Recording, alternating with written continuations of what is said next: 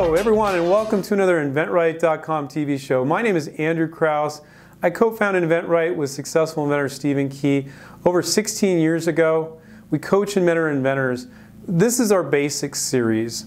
And what we're covering right now is we're going to cover provisional patent applications, commonly referred to as PPAs. Provisional patent applications. And we got the right guy on. We got patent attorney Damon Kali. Welcome, Damon. Hi, thanks for having me. So, Damon, what is a provisional patent application for people that already know they're excited about it, for people that learn about the first time, maybe some of you here, they get really excited. Why do inventors get so excited about it, and what is it? Well, what it is, is it, it's really a story. It's a story of your invention, and it can be written by the inventor. Uh, and it's fairly inexpensive to file. So it's a really easy, inexpensive way for inventors to get a, a, some protection started for their invention and gives them this sort of peace of mind when they go out to, to pitch that it's not going to get ripped off. Damon, that doesn't sound good for you as an attorney. So uh, uh, somebody can write it in common English, they can write it themselves, and it will protect them and they'll have the ability to say patent pending uh, do attorneys not like the provisional patent application? Well, you know, some attorneys don't like it because, I mean, as you point out, it, we don't make a lot of money on them.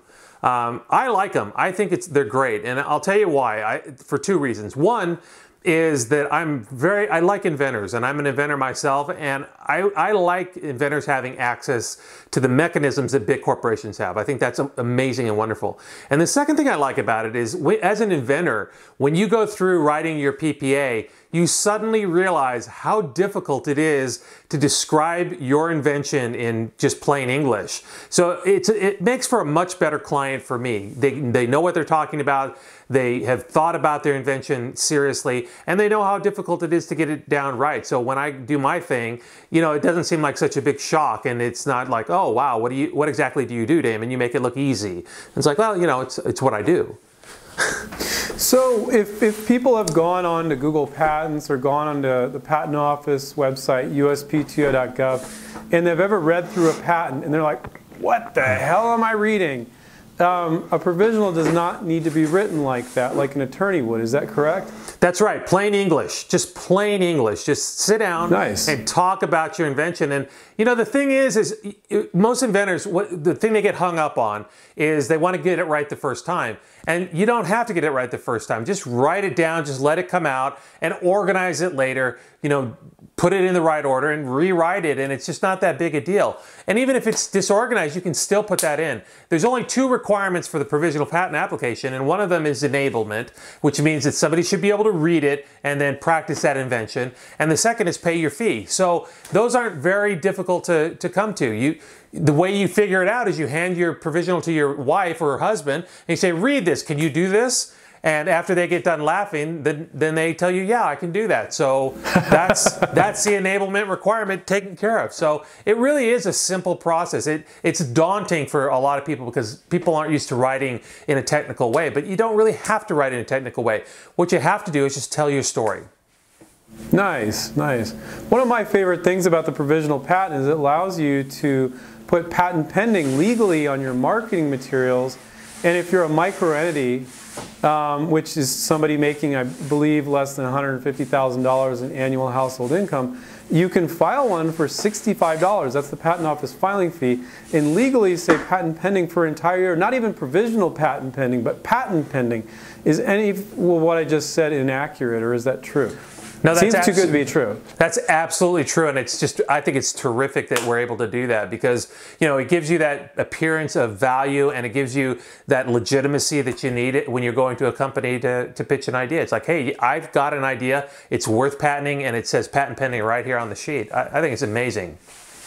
I, I can't think of anything more American than provisional patents. The thought that anybody for 65 bucks can get patent pending status and try, in our case, what we teach our students, try to license the product to these large companies is, is amazing. Or if you're starting your business and selling it yourself, you can delay paying for a patent and see what the interest level is first. So how does that work, Damon? Because everybody, attorneys always say provisional patent application. application, why do they emphasize the fact that it's an application and not a patent?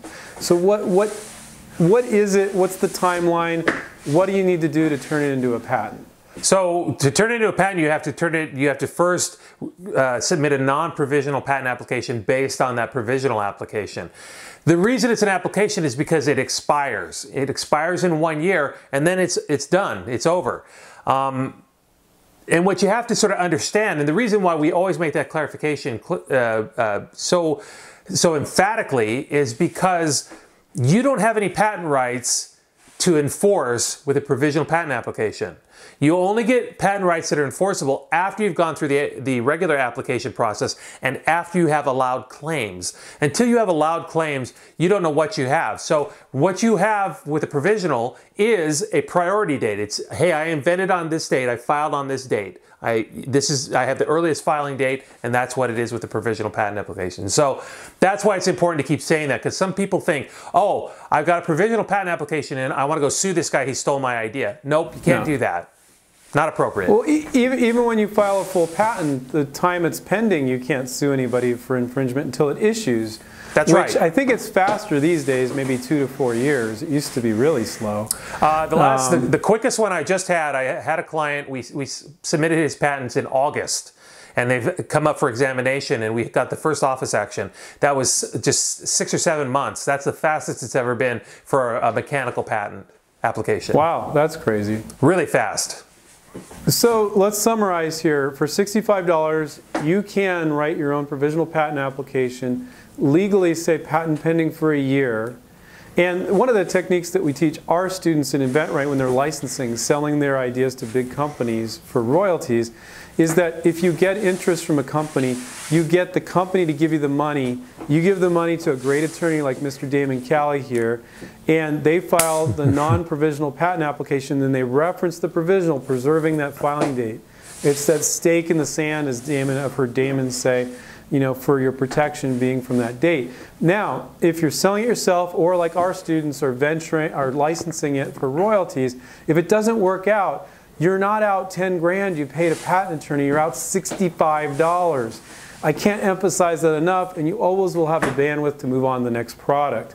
That's so, so important.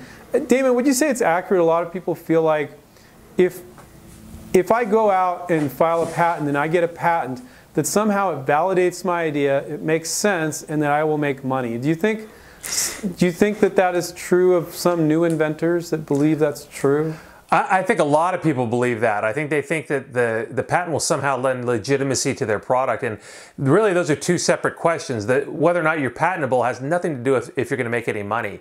Um, people made a lot of money on unpatented products, and people have spent a lot of money on patents and never made a dime. So, you know, the, the patenting is just one part of a process that you need to put in the right place. And I think you guys do a good job of, of showing people how to do that. I'm not in the business of trying to sell you patent work that you don't need.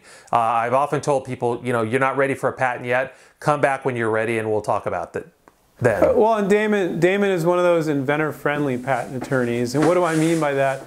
A inventor-friendly patent attorney wouldn't try to sell you a patent if you're not ready they, you know, and there's a lot of reasons, that's a whole nother topic. And so I hope you enjoyed this basics series. Damon, thank you so much. It was really helpful, very straightforward information. Thank you. So what we'll do is um, wrap this one up. Check out the others in the basics series. Check out our other videos on our YouTube show. I want to remind everybody to take care and keep inventing. See ya. Bye. Hi, this is Stephen Key. And I just want to thank you for watching InventRight TV. We're here to save you time, save you money, and show you how you can bring your products to market through licensing. So please subscribe down below, click on the button, and tell your friends. Thank you.